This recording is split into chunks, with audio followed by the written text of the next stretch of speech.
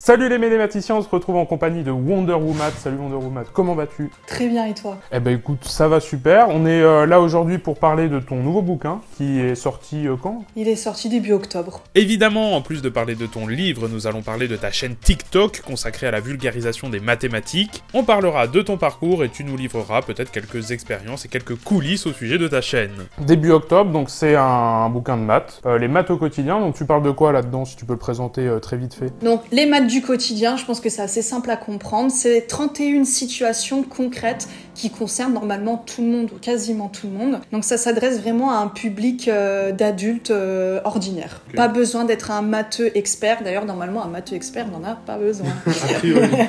Ouais, donc c'est ça, c'est pour donner, euh, pour montrer finalement que les maths c'est utile au quotidien. euh. C'est pour montrer que c'est utile, mais vraiment surtout pour dépanner au quotidien. Parce que j'ai très souvent eu des questionnements sur comment déclarer ses impôts, euh, comment faire des réductions pendant les soldes. Donc là, c'est vraiment pour dépanner. C'est un kit de survie mathématique du quotidien. Donc pour ceux qui ne te connaissent pas, tu es sur TikTok aussi, donc tu fais euh, des, des vidéos donc, euh, de, de cours qui durent euh, quelques, quelques secondes, euh, parce que c'est sur TikTok, c'est Voilà, le, format, le format court. Tu lances aussi un site internet prochainement euh, sur lequel tu vas proposer donc, des cours, euh, De des cours soutien mathématiques, scolaire, ouais. de soutien scolaire, Euh, un peu le, le Yvan Monca féminin finalement, c'est ça l'objectif. Donc on va peut-être euh, parler un peu de ton parcours, si tu peux parler aussi de, de TikTok, euh, nous parler des, des coulisses finalement de la réalisation de, de tes, euh, de tes vidéos, et nous parler des, des coulisses de ce bouquin aussi, si t'es si partant. Eh ben avec plaisir. 31, t'es au courant que 31 c'est même pas une puissance de 2, t'aurais pu aller jusqu'à 32 Attends, tu crois que j'en ai pas parlé? C'est pourquoi j'ai choisi de découper cet ouvrage en 31 chapitres. J'adore les nombres premiers. Tu m'as pris pour une littéraire Le début du coup de ton, de ton TikTok, ça a commencé comment finalement tout ça? Déjà, il faut savoir qu'à la base, je suis enseignante certifiée de mathématiques. Et euh, tout le monde a connu cette période difficile, douloureuse du Covid et du confinement. Et ça a été un peu l'âge d'or des enseignants qui ont découvert la vulgarisation sur les réseaux sociaux. Je pense que c'est comme ça qu'on s'est tous lancés. Et euh, parce que est né ce besoin de créer des capsules vidéo pour nos élèves qui étaient seuls à la maison, qui étaient complètement désœuvrés. Et moi, j'ai eu envie de me lancer sur TikTok parce qu'on va pas se mentir, sur YouTube, des matheux, des profs de maths, il y a vraiment à boire et à manger.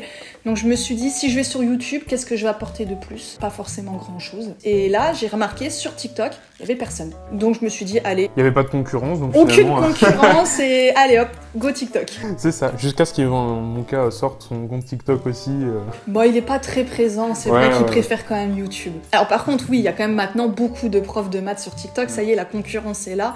Mais au début, j'étais toute seule, en tout cas en prof de maths francophone. Il y avait beaucoup de profs espagnols, beaucoup de profs, alors je vais dire anglophones, hein, parce que du coup, je sais pas trop euh, de quel pays ils venaient exactement. Et ça cartonnait.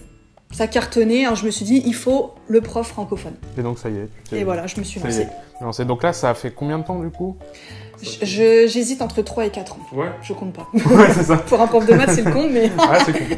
Non, mais c'est c'est- c'est super. Et donc là, ça y est, c'est développé. Enfin, t'as plus de 300 000 abonnés, euh, presque Je suis 400. à quatre- non J'ai même dépassé les 400 000 abonnés. Ah oui, il y a quelques jours. Ah, hier, ok, Ouais. ok, hier tout pile. Comment t'es venue l'idée déjà de créer euh, des, des bouquins? Parce que c'est c'est pas ton premier bouquin de maths, t'as eu aussi des, des bouquins euh, plus euh, scolaires du coup pour faire euh, des exos, des, des cours. Alors l'idée, elle est jamais venue de moi. J'ai été à, à chaque fois, je suis contactée par des maisons d'édition.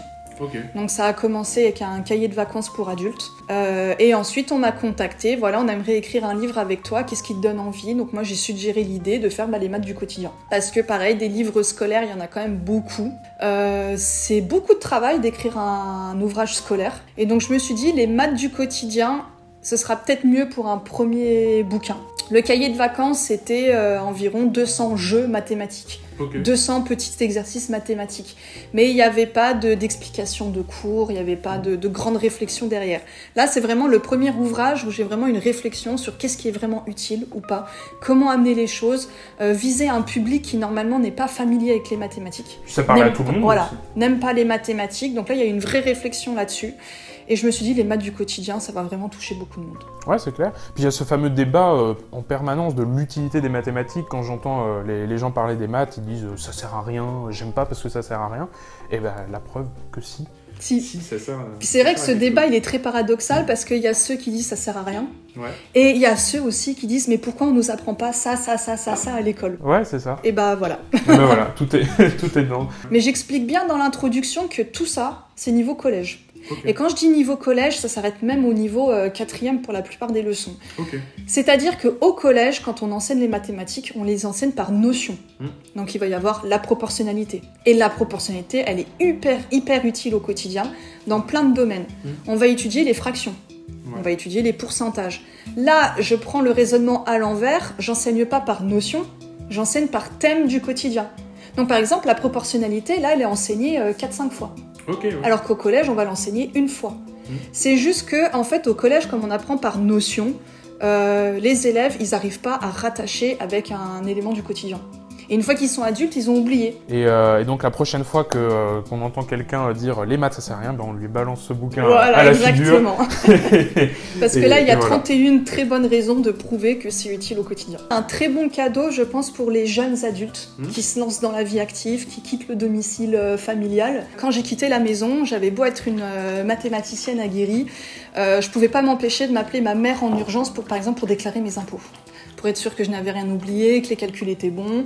Euh, quand j'ai dû acheter ma, première voiture et donc calculer euh, le coût du crédit, Mhm. pareil, j'ai appelé ma mère en urgence pour qu'elle m'accompagne au rendez-vous pour être sûr que je me fasse pas arnaquer. Ouais, Et bah, ce bouquin pourra jouer désormais le rôle de maman.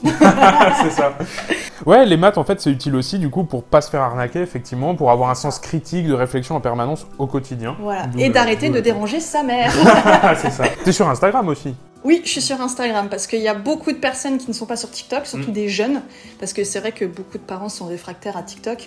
Et j'ai eu beaucoup de messages privés qui me disaient Est-ce que tu veux pas te lancer sur Instagram? Parce qu'on n'a pas TikTok, les parents ils veulent pas, mais ils acceptent Instagram et nous on veut quand même avoir accès à tes vidéos. Ouais. Donc je me suis lancée sur Instagram. Euh, on n'a pas trop parlé de ton, aussi de ton parcours finalement pour arriver à tout ça, sur euh, même pourquoi cet amour des mathématiques, pourquoi cet amour de la pédagogie aussi, parce que c'est quand même deux branches euh, très, très distinctes. Qu'est-ce qui t'a amené à, à- à tout ça Alors c'était un chemin euh, très très long et je pense que c'est le cas de beaucoup d'étudiants. Moi, mon rêve premier, c'était de travailler dans l'aérospatiale. Donc j'ai fait les classes préparatoires aux grandes écoles. Euh, j'ai intégré l'ENSICA, qui est la petite sœur de Supaéro, donc pour être ingénieur en aérospatiale. Et en fait, une fois que j'étais dans l'école, j'ai pas aimé l'ingénierie. C'est-à-dire que j'étais fan de sciences. Euh, moi, mon premier domaine, c'était avant tout la physique, pas les mathématiques. Et j'ai détesté l'école d'ingénieur. J'ai pas aimé travailler sur des logiciels. Euh, finalement, pour l'ingénierie, j'ai trouvé ça très abstrait parce que on travaillait que sur des logiciels. Donc c'était pas si pratique que ça. Ouais, il y avait C'était de la programmation pratique. et il manquait le côté euh, manuel, pratique, euh, vraiment voir ma fusée qui décolle. Et c'est a- ça qui t'aurait plu. quoi. C'est ça qui, moi, moi, mon rêve, c'était d'être euh, comme dans les films, tu sais, dans la salle où il y a tout le monde. Ouais. T'appuies sur le bouton rouge, t'as la fusée qui décolle et après t'as tout le monde qui applaudit. Ouais, c'est ça. et euh, mais pour arriver à cette étape-là, c'est Ouais. des années et des années de travail. D'ailleurs, tout le monde ne vit pas cette étape-là dans sa Ouais. carrière d'ingénieur aérospatial. Et euh, j'avais visité les- l'usine d'Airbus À Toulouse. à Toulouse, euh, parce qu'on était reçus par des ingénieurs qui venaient de mon école pour nous présenter les métiers euh, possibles. Et en fait, aucun de leurs métiers ne m'a fait rêver. Il y avait un ingénieur qui disait, par exemple, euh, je travaille sur un logiciel de radar de l'avion. Voilà, vraiment, chacun a une mission très spécifique. Ce qui est tout à fait logique Oui, d'ailleurs. bah, Mais quand on est étudiant, on s'en rend pas compte. Et donc, il allait passer toute sa carrière à créer un logiciel radar pour l'avion. Moi, personnellement, ça m'a pas passionné. Il y a un autre ingénieur qui passait toute sa carrière à travailler sur un composant d'un moteur d'Airbus. Donc vraiment, ça ne m'a pas du tout attiré, ça ne m'a pas donné envie. Surtout que je voyais que tous mes autres euh, camarades de promo étaient hyper passionnés par ce qu'ils faisaient et moi j'y allais vraiment à reculons. Sauf qu'entre-temps, pour financer mes études, je donnais des cours de maths particuliers. Mhm. Je pense qu'on est tous passés par là. Ouais. je confirme. Et j'ai adoré ça. Ouais. J'ai adoré avoir cet élève particulier, l'aider à réussir, euh, l'aider à comprendre et voir son évolution. Ouais, voir sa progression, se rendre compte qu'il Exactement. qu'il y arrive finalement. au bout d'un Et moment. je me rendais compte, en fait, sans formation pédagogique, je me débrouillais très bien. Chacun de mes étudiants avait la moyenne qui doublait. Ouais. Donc je me suis dit, là, je tiens quelque chose. En plus, j'adore. C'était le seul moment de la, la semaine qui me donnait envie. Ouais. Et donc, j'ai quitté mon école d'ingénieur pour rejoindre le master euh, MEF, donc le master Mm. euh, métier de l'éducation, de l'enseignement. Pour faire le CAPES ensuite? Pour passer le CAPES, que j'ai réussi, j'ai adoré ça, et c'est là que j'ai commencé ma carrière d'enseignante. Génial. Et euh, sur le moment, zéro regret. Super. Et donc, tu as été enseignante pendant combien de temps finalement? Euh, une petite dizaine d'années. Ok. J'ai commencé 4 ans, euh, on appelle ça TZR, donc titulaire de ma zone de remplacement. Ok. Donc j'ai fait collège-lycée pendant 4 ans.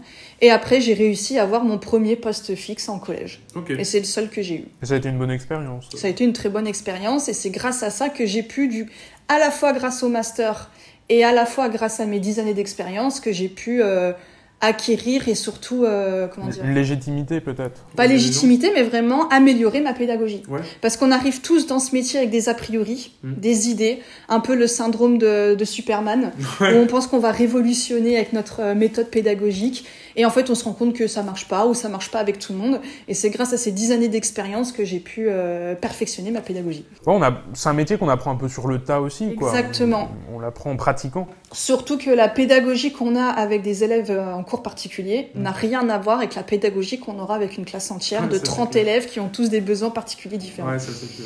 C'est encore pire même euh, pour les profs d'université, je sais pas comment ils font, mais quand t'as 200 élèves en, en amphithéâtre... euh, Alors je suis pas sûre qu'ils différencient leur pédagogie pour le coup. Voilà, je suis pas sûr. Voilà. Suis Alors qu'au sûr. collège et au lycée, on différencie énormément. Ouais. Et encore, je parle de ce que je connais parce que je pense qu'en école primaire, c'est exactement la même chose. Oui, tu fais de la vulgarisation sur TikTok en plus. Alors moi, je fais sur TikTok pendant très longtemps au début, je faisais du contenu purement scolaire. Donc vraiment, j'expliquais le théorème de Pythagore, euh, j'expliquais comment résoudre une équation. Donc c'était vraiment mon public cible, c'était les, les adolescents. Et avec le temps, j'ai des adultes qui ont commencé à me suivre, qui m'ont demandé de faire des maths du quotidien. Donc c'est eux qui finalement ont inspiré mon, mon livre. Et ensuite, maintenant, là, je m'essaye euh, à ce qu'on appelle le debunk. Donc quand je vois une ânerie dans les médias, sur les réseaux, je reprends, je corrige et je montre à quel point c'était une erreur mathématique. C'est drôle. Je, je fais ça aussi maintenant depuis quelques, depuis quelques semaines. Mais c'est très dur hein, de trouver des sujets parce que ça demande beaucoup de C'est très temps. facile. Tu allumes TPMP, tu trouveras. euh, Oui, mais j'ai pas envie de regarder TPM. C'est juste, en fait, ce que c'est pas que c'est difficile, mais ça demande du temps Ouais. de faire de la veille pour trouver ces débilités euh, Ouais, mathématiques. Donc voilà, euh, finalement, euh, les maths du quotidien, donc de Wonder Woman, 31 leçons très faciles aux éditions, donc Opportun Édition, Opportune Édition, comment on prononce Édition de l'opportun. Édition de l'Opportun. Ça marche mieux. Donc voilà, le lien est dans la description, évidemment, si vous voulez euh, l'acheter ou l'offrir à Noël. C'est bientôt Noël, donc euh, c'est le bon moment. Ouais, ouais, bah écoute, merci, euh, Ah, merci d'avoir à toi. Euh, bah, avec plaisir, et puis euh, bah, à la prochaine pour euh, peut-être un futur, euh, une future vidéo, peut-être qui apparaîtra Pour le tome bientôt. 2 Pour le tome 2, ouais, c'est ça.